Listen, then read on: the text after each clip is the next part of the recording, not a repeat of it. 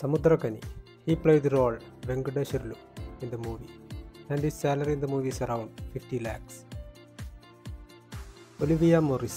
She played as Jennifer in the movie, and her salary in the movie is around 1 crore.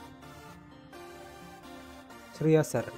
She played the role Sarojini, and her salary for that role is around 1 crore.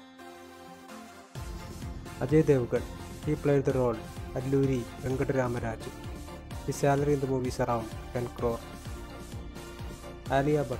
She played the role Sita. Her salary in the movie is around 10 crore. Junior NTR. He played one of the important roles in this movie named Komaram Bhim. His salary for the movie is around 45 crores. Ram Charan also played one of the important roles named Alluri Sita Ramaraju. His salary also 45 crores.